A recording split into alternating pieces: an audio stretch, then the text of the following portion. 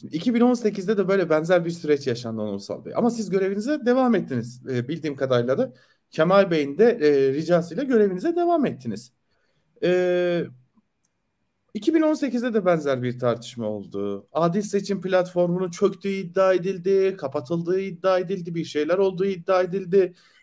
Ee, aslında bunun üzerine çok konuşuldu ama siz hazır söylemişken sormak istiyorum. 2018'de ne oldu? Çünkü Füsun Hanım bana diyor ki bazı hatalı bilgiler girildi o dönemki ortaklar tarafından sisteme.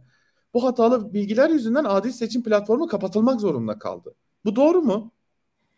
Ee, Altan Bey güzel bir soru. Çok teşekkür ederim. Aslında tam da biraz önce size anlattıklarımla da uyuşan bir süreç. 2018, 2019, 2023 Cumhuriyet Halk Partisi aynı sistemleri kullandı Altan Bey.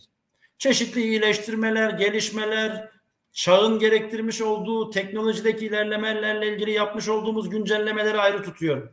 Almış olduğumuz önlemleri ayrı tutuyorum ama 2018, 2019, 2023 arada ne fark var? 2018 ve 2023'te kaybetti adaylarımız. 2019'da kazandı. 2019'u kim kazandı diyorlar? Cumhuriyet Halk Partisi örgütleri ve aday kazandı. 2018 ile 2023'ü ne kaybettirdi diyorlar? Bilişim sistemi kaybettirdi. Sizce bu inandırıcı mı? Bunun hiçbir inandırıcılığı yok.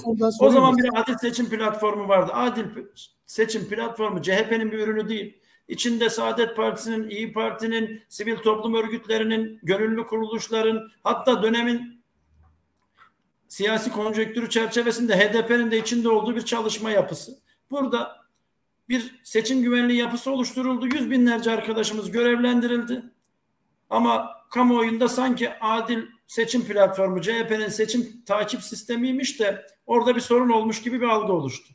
2018'de ve 2019'da 2023'te hepsinde aynı sistemi kullandık.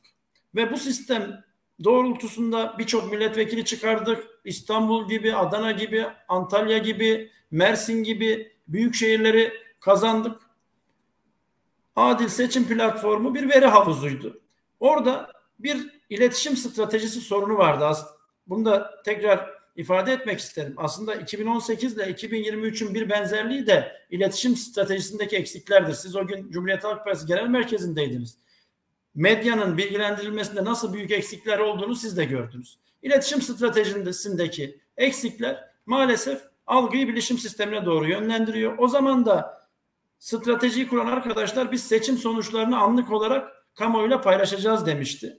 Bu çok yanlış bir stratejiymiş. Çünkü adil seçim platformuna veri gönderen diğer partilerden yanlış veriler gelince kamuoyuna açıklanmayacak anlamsızlıkta bir sonuç gördük ekranda. Bunu televizyonlarla, kamuoyuyla paylaşamazdık. Bundan kaynaklı olarak da o gün kapattık sistemi ve hiç açmadık kamuoyuna sonuçları. Ama bizim Cumhuriyet Halk Partisi sistemleri yine o günde tıkır tıkır çalışmıştı ve hiçbir sorun olmamıştı.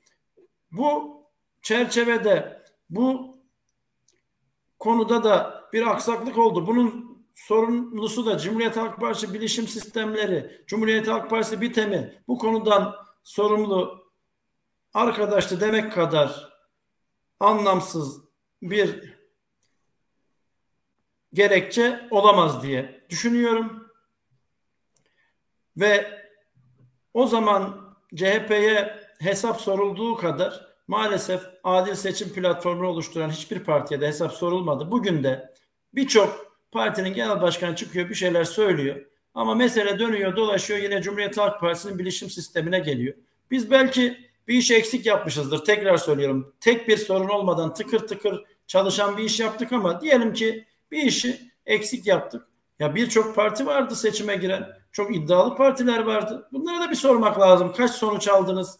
Kaç bin sandığın sonucunu aldınız? Teyit ettiniz? Kaç sandıkta vardınız? Bunu da sorgulamak gerektiğini düşünüyorum.